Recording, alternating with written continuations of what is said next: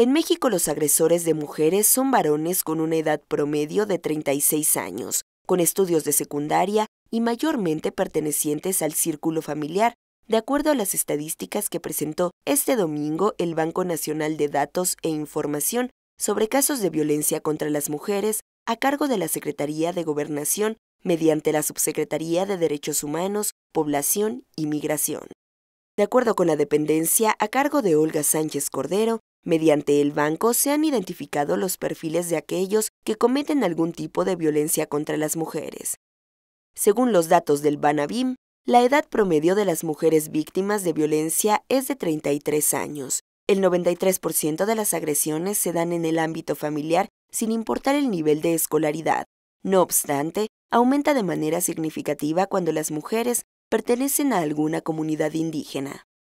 Derivado de la información recabada, se sabe que la edad promedio de los agresores es de 36 años y su escolaridad es de secundaria, refirió Segov en un comunicado.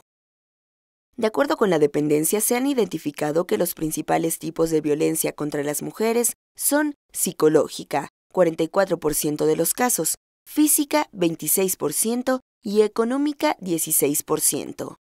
Hasta el momento la CEGOP contabiliza casi 50.000 órdenes de protección emitidas por jueces y fiscalías para las mujeres víctimas de violencia.